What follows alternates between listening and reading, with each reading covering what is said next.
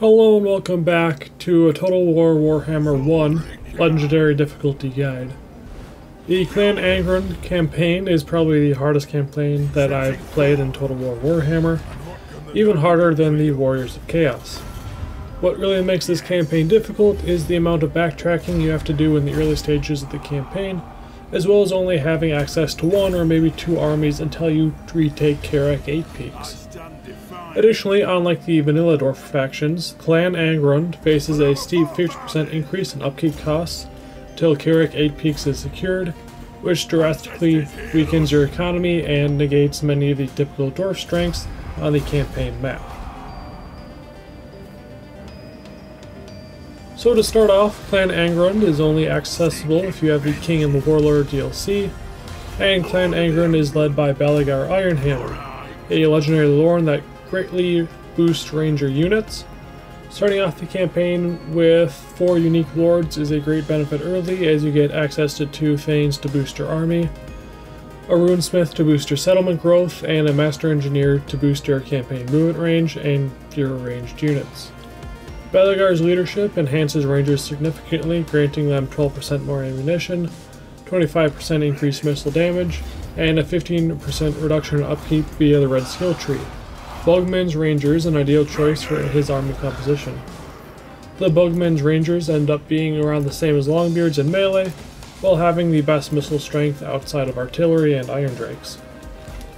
While you can't feasibly assemble a full Bugman's Rangers army, early on you should aim to do so after reclaiming Karak 8 Peaks.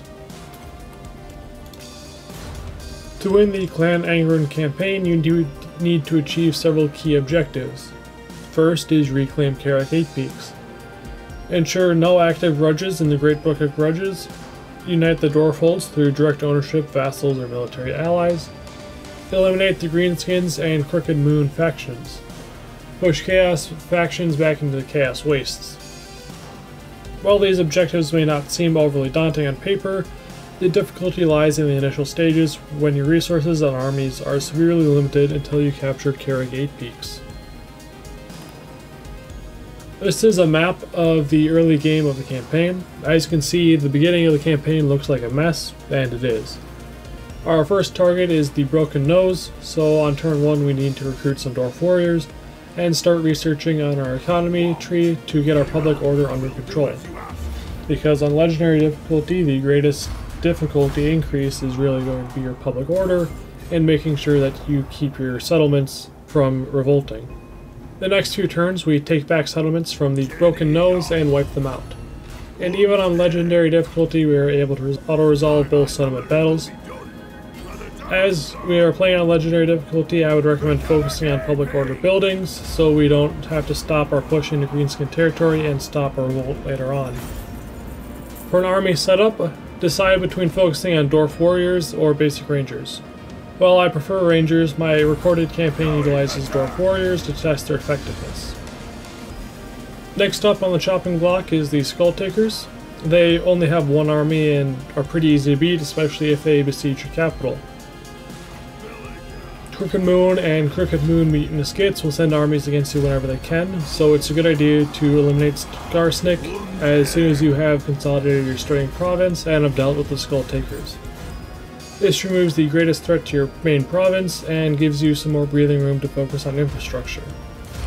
Even if you aren't friendly with Karak Norn, you should go straight to the Crooked Moon using the Underway to cut down on trespassing penalties. If Crooked Moon takes Karak Norn out, they become very strong and can spam armies that your single army will struggle to defend your province and still take theirs. After taking out Skarsnik, you can see if Karak Norn or Karak Hirn will confederate, but remember that the public order penalty for doing so is 8 for 5 turns. If you say so. Next up on the chopping block is Black Venom, as they are probably at war with Karak Hirn, and you might be able to get some gold out of them for joining the war. After taking out Black Venom, I would recommend setting the room Smith to help with public order and growth, either in your main province or the Black Venom settlement to boost whichever needs to be built up The Greenskins are our next target, and although we aren't aiming to wipe them out, we should still take their capital and push them away from the dwarves, and whatever remains of Karak Azul and Barak Varr, which gives us a fairly safe return to Karak 8 Peaks if we lose our army. Some guides will recommend not taking the settlements from the Greenskins, but it can act as a staging ground if you take heavy losses from the Crooked Moon Mutinous Gits. Speaking of which, now that the Greenskins are out of the north, we can finally attack Karak 8 Peaks. They normally have multiple armies, so Lightning Strike is very useful to have if you don't have a second army. Having a unit of artillery, which when you make the move towards the Karak, allows you to initiate the siege instantly, useful if you catch the Karak undefended. I recommend the Regiment of Renowned Grudge Thrower, so you don't have to waste any time recruiting or investing in any buildings. Once it's under your control, you can look into a second or possibly third army, and can turn your attention to the rest of the greenskins nearby, as you'll likely have a number of grudges to clear.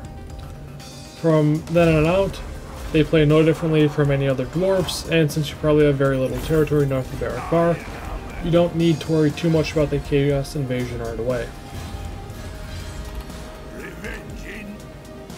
The Clan Angrund campaign in Total War Warhammer 1 is on legendary difficulty difficulties a true test of strategic planning and resilience. To summarize, start by focusing on solidifying your initial territories and building a robust economic base. Prioritize eliminating immediate threats such as the Broken Nose and Skull Diggers, and swiftly move to neutralize Skarsnik to secure your main province from additional threats. Utilize your unique heroes effectively, leveraging their abilities to enhance your army and settlements. As you push towards Karak 8 Peaks, maintain a balance between expansion and consolidation, ensuring your public growth, public order and growth are stable. Once Karak 8 Peaks is reclaimed, the campaign shifts gears. You'll be able to expand your military capabilities and turn your attention to unifying the Dwarfholds and eradicating the remaining Greenskin forces. The final phase involves managing the chaos threat and ensuring the safety and prosperity of your realm. By following this guide, you'll be well prepared to take on the myriad of challenges of the Clan Angrund campaign. Remember, patience and adaptability are key, overextending can be a major setback mid-game. With persistence and a keen strategic mind, you'll restore glory to Clan Angrund and secure long, a long victory in this legendary campaign. Good luck, and may your axes always be sharp and grudges be settled.